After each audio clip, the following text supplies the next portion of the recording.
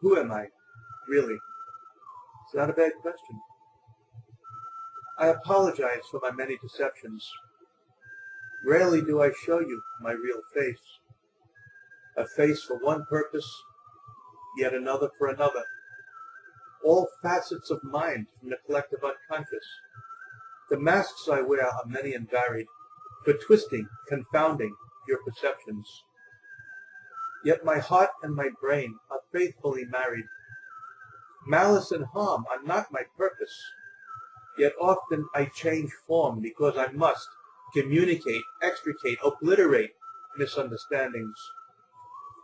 All too often I am misperceived, thoughts and opinions misconceived. Ignorance, like a steel plate, repels good intent, turns to hate. Irony, metaphor, simile, hyperbole, sail over the heads of those who cannot, will not see. I play many roles. I wear many masks. I deceive for good reasons. To open and heal lesions. To get your attention. Did I mention, my dear detractor, I am but an actor? Usually I just entertain with inane comedies.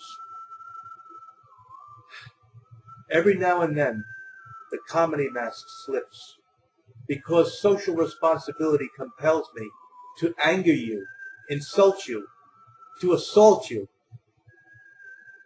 to break your misconceived, misperceived, preconceived notions, stir your emotions, cause you rage, cause you sadness, trick you, prick you, rip out your heart, and as you bleed, rail, and curse me, perhaps you may start to understand the method in my madness.